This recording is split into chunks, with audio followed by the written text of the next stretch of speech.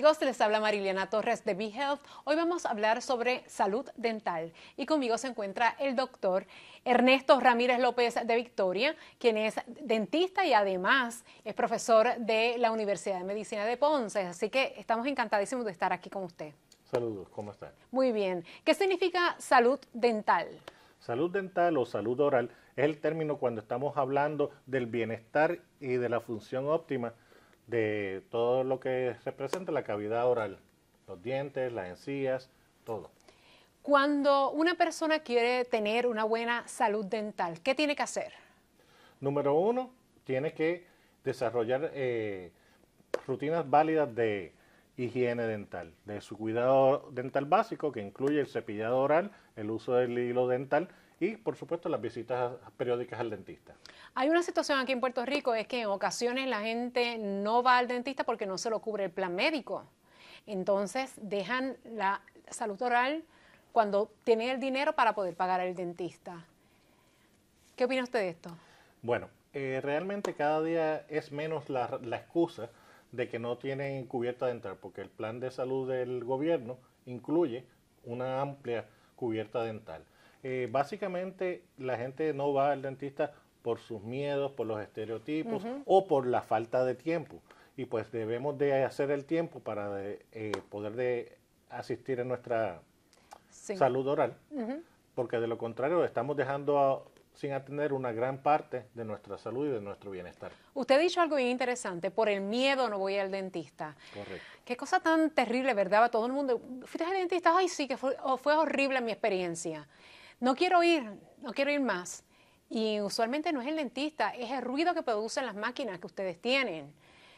¿No han conseguido una máquina menos ruidosa para uno tener una visita más agradable? Existe, sí, de hecho, pero lamentablemente siempre que cambiamos a una tecnología nueva, empieza el problema de los costos. Y una cosa empieza a cubrir encima de los otros. Pero no solamente son los ruidos, es también los olores particulares de la oficina, es también la cercanía con que uno trabaja del paciente. Aparte del optómetra, somos el profesional de la salud que más se tiene que acercar al paciente y cuando invadimos el espacio personal de cada cual, pues entra una situación de nerviosismo. En adición, los estereotipos que tenemos no nos ayudan. Cuando vemos las caricaturas, vemos los muñequitos, todos recordamos las malas experiencias y las atrocidades que se ven allí, que no son nada, no tienen nada que ver con la vida real. Eso le causa un trauma a cualquier niño. Trauma es una palabra grande. No me gusta utilizarla, pero sí causa miedo. Causa miedo. ¿Qué podemos hacer para perder el miedo al dentista y poder confiar más en su conocimiento?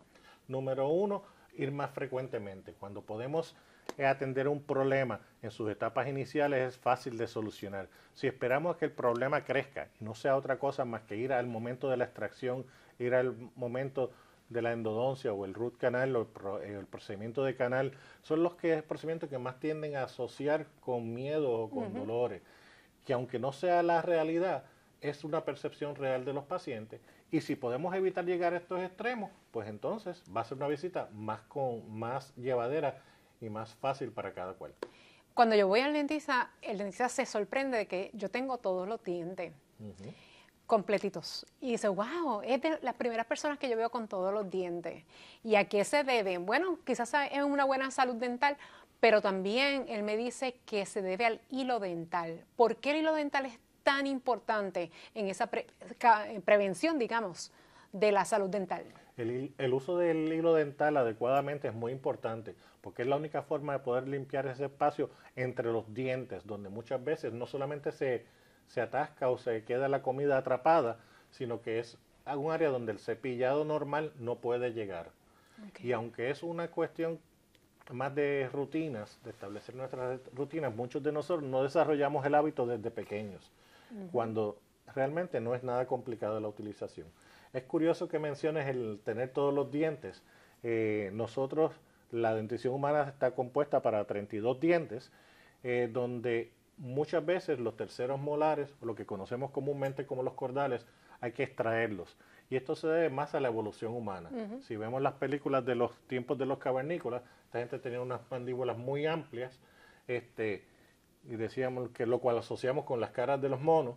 Andamos dos o tres monos por ahí todavía, pero la evolución ha hecho que la mandíbula humana y la maxila se hayan reducido en tamaño, por lo tanto no todo el mundo tiene espacio para estos terceros molares y eventualmente se supone que evolucionemos a perderlos. De hecho, están naciendo algunos pacientes que no tienen los terceros molares ya.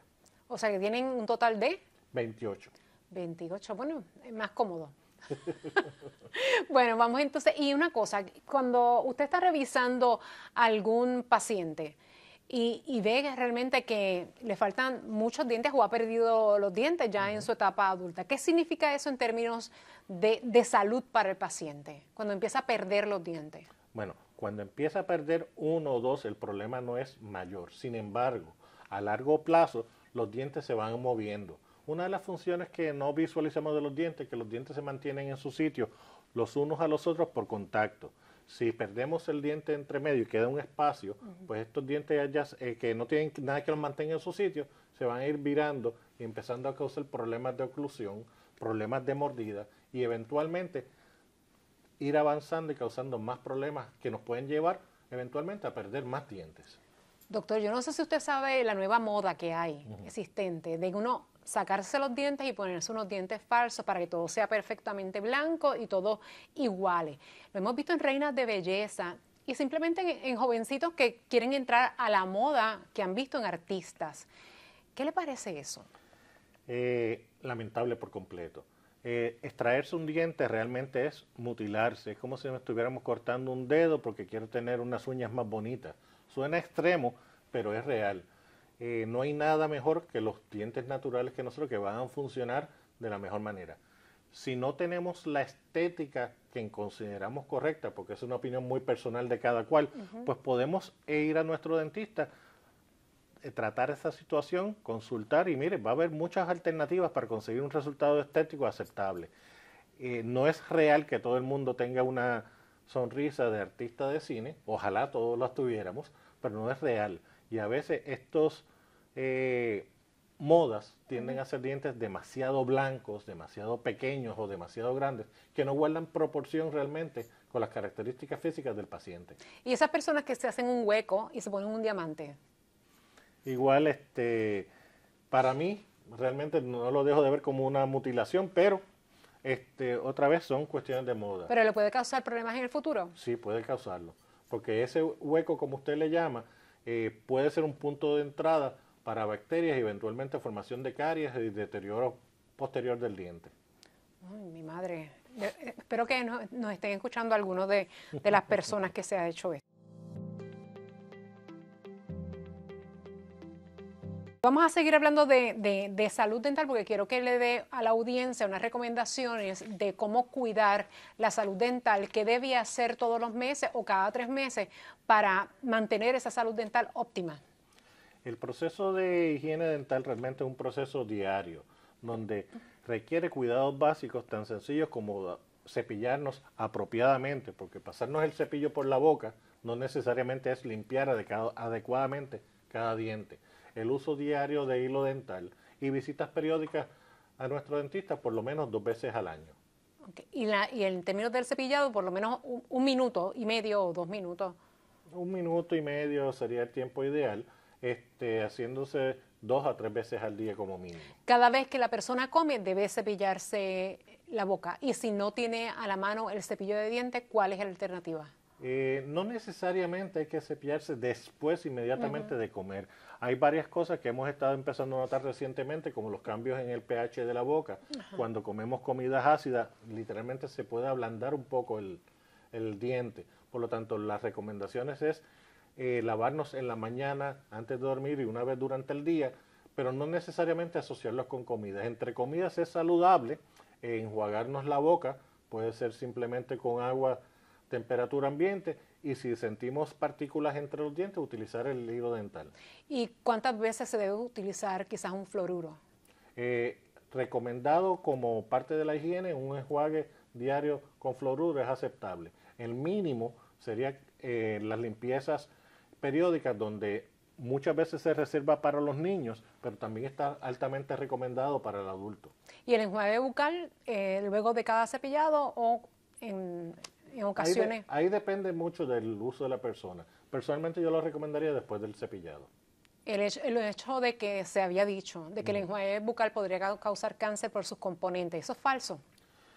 Ha habido mucho avance en, detectar eh, distintas sustancias que pueden causar eh, cáncer. Sin embargo, según se van detectando estas eh, sustancias, muy responsablemente las compañías que fabrican estos productos los van retirando y los van cambiando. el mismo enjuagador bucal que usaba cuando yo era pequeño definitivamente no es el mismo que hay ahora mismo en el mercado, aunque aquel puede que se consiga todavía. El, el mercado atiende a todos los gustos y todos los colores. Ellos venden lo que, lo que la gente compre. Claro. Y es bien importante que nuestro público sepa que la salud dental está asociada directamente con otras enfermedades. Por, eso es importante que usted vaya al dentista y que le verifiquen la lengua, todo, porque entonces así uno sabe si tiene alguna afección de salud, ¿correcto? Eso es muy correcto. Número uno, la boca es la entrada a nuestro cuerpo de todo lo que comemos, toda nuestra nutrición depende de él. Sabemos la importancia que tiene la nutrición para nuestra salud. En adición, muchas enfermedades sistémicas donde primero se van a reflejar van a ser en la boca. Y lamentablemente, eh, muchas veces el médico de familia lo que le dice a uno es abra la boca di A y lo que mira es de la garganta en adelante. Eh, realmente es el dentista quien, quien está entrenado y tiene esta visión para poder ver la boca y evaluarla de forma completa y detectar pequeñas señales de cosas que no son normales y entonces buscar la ayuda y orientar al paciente a cómo tratar esas afecciones si es que ocurren.